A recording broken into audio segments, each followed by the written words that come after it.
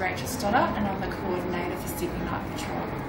It's been running for 51 years. It started with a group of university students.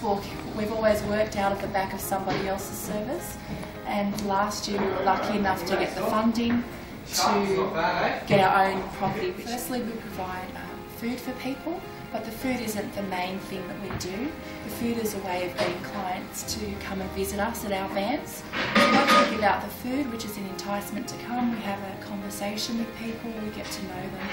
The most important thing that we provide is companionship.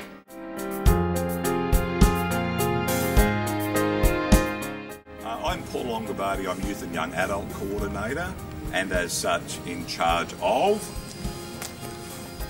the Brekkie Van which goes out every Saturday and Sunday morning to Prince Alfred Park in the city. Brekkie Van goes for two hours, even though it only takes about 45 minutes to, to set up and cook and prep and serve.